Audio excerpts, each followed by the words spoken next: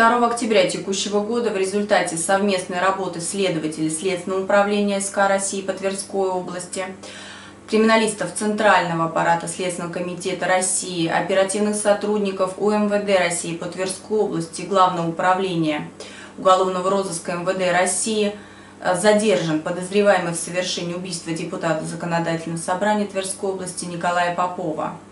Им оказался житель поселка Мирного Торжокского района Тверской области, работавший в колхозе.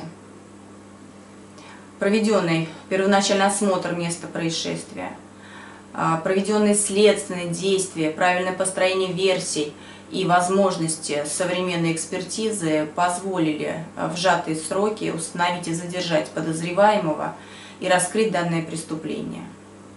Напомним, что 23 сентября текущего года тело а, депутата законодательного собрания Николая Попова с огнестрельным ранением в области груди было обнаружено на окраине деревни Спас Торжокского района.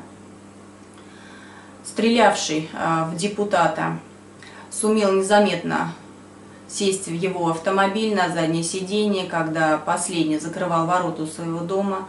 Отъехав от дома, подозреваемый произвел депутата а, выстрел из гладкоствольного обреза Раненый депутат сумел выбраться из автомобиля, однако нападавший нанес ему не менее четырех ударов прикладом в область головы.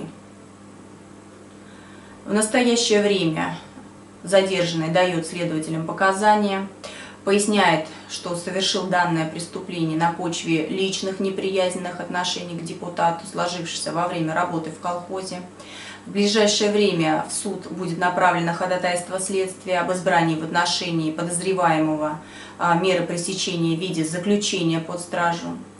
Проводятся следственные действия, направленные на установление всех обстоятельств совершенного преступления, сбор и закрепление доказательственной базы. Расследование данного уголовного дела продолжается.